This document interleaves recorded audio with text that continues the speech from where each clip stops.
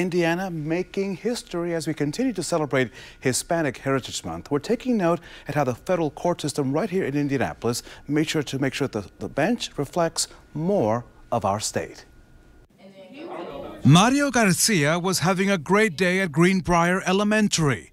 In the spirit of the sign, he caught the fever to excel in the classroom and exude confidence as he moved on to Ball State, IU School of Law, and the federal courthouse.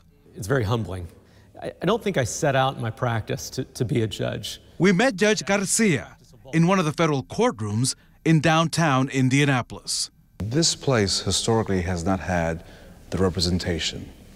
So could you, could you see yourself in this role? So while we didn't have another member of the um, uh, Hispanic community on the bench, I didn't see that as a, as a limitation or, or as a, a ceiling that I couldn't break through. I'm Mario Garcia, do solemnly swear do solemnly swear That breakthrough came on April 5th, 2021.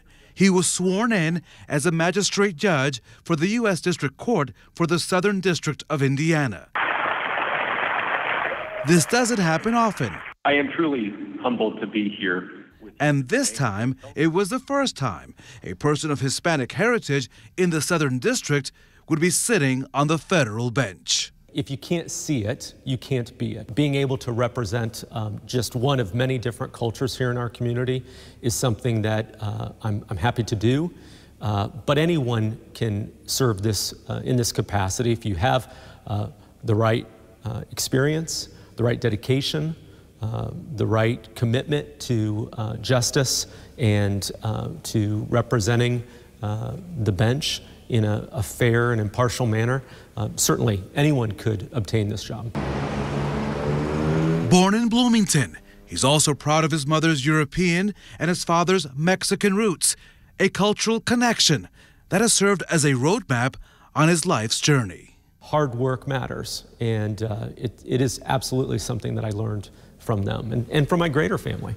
Garcia was in private practice for more than two decades before being selected as a magistrate. As a lawyer, he spent years providing free legal services to those facing federal criminal charges. It's an experience he believes helps him as a judge. It helps me give a little bit of insight into where that individual may be coming from and help offer maybe um, some thoughts or opinions um, about where they uh, currently stand based on my experience. Maybe it gives me just a little bit of credibility in their eyes. Quicker we can bring parties justice, and that, that's the whole goal here is to bring justice quicker, sooner, efficiently, and fairly.